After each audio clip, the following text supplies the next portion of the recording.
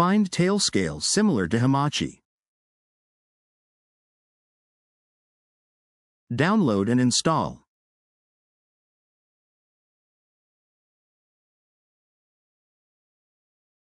After you install Tailscale, use right-click on bottom mini icon and login in.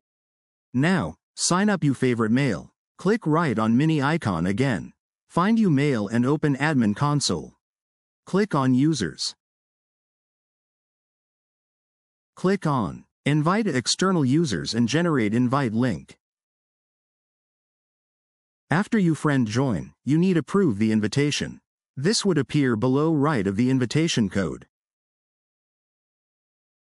Done this, click on Machines. Last step, click on Right three points on UMachine to generate another invitation.